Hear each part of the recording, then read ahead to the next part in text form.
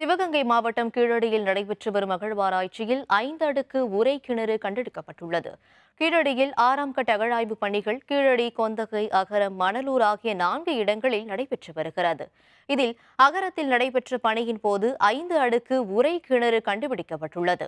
இதன் ஒரு உரை முக்கால் அடி உயரமும் இரண்டு அரை அடி அகலமும் கொண்டு உள்ளது. மொத்தம் ஐந்து உரைகள் கொண்ட கிணறு கண்டுபிடிக்கப்பட்டுள்ளது. ஏற்கனவே அகரத்தில் சிறிய பனைகள் நத்தை ஓடுகள் சங்கு வளையல்கள் தங்க நாணயங்கள் மற்றும் பல்வேறு பொருட்கள் கண்டுபிடிக்கப்பட்டுள்ளது.